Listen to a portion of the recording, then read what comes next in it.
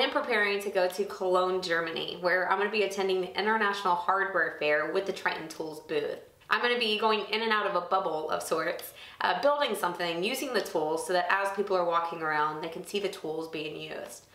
It was my plan to build this tool at least twice before getting to Germany so I could work out any kinks beforehand.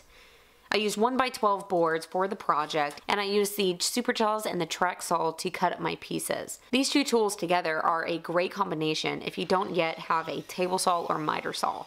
It makes cutting up the pieces very quick and easy. And I do have a free set of plans with a cut list on my website.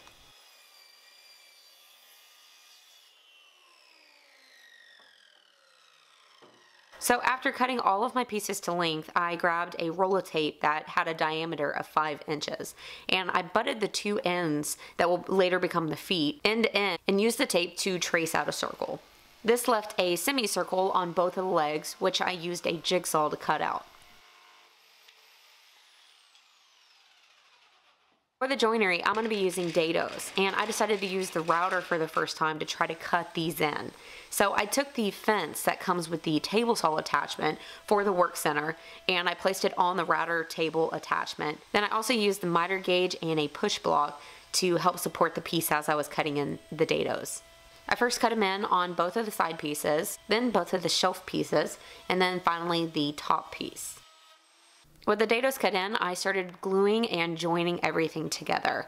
So this particular stool is actually for my parents and it will be outside. So I chose cedar since it's naturally rot resistant. But of course you could use any wood that you prefer.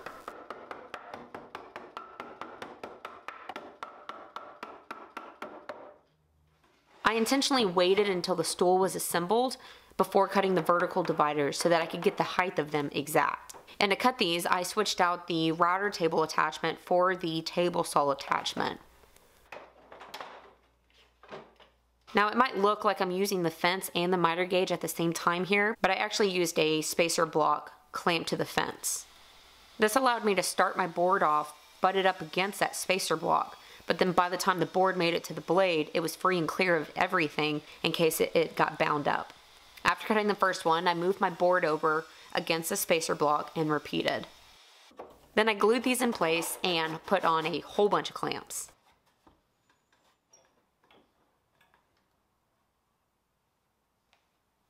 So today's video is sponsored by RZ Mask. I have been getting a ton of questions and comments regarding the dust mask I've been wearing. This is the M2 made by RZ Mask and it is extremely lightweight and comfortable. The filter goes inside the mask and it's made up of two layers that filters down to 0.1 micron. Instead of slipping on the crown of your head like a traditional dust mask, this wraps around the back of your neck and velcros into place. I personally love this feature since I have a head of hair to contend with. There are two one-way check valves that go right right in front of your mouth. So it does a great job at expelling the hot damp air as you were breathing. Now this is of course great to use in the workshop, but I've also been using it in other places such as when I mow the lawn or ride my dirt bike. I've been wearing this under my full face helmet and it fits great. They do come in three different sizes. I personally fit better into the small, but my husband fits into the regular. So just to kind of give you a gauge. However, there is a better, better sizing chart on the website.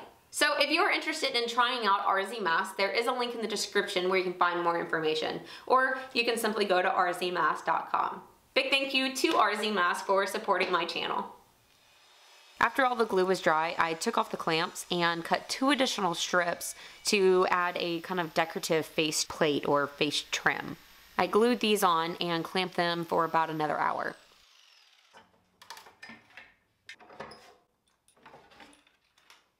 And I think that's it. So this one is actually going to my parents' front porch. They like taking off their shoes before going in the house. So this will give them just a small decorative stool to sit at while taking off their shoes. If you're interested in building your own, then I do have a free set of plans on my website at wilkerdos.com. There's a link in the description of the video for you. Other than that, I hope that you have a good week.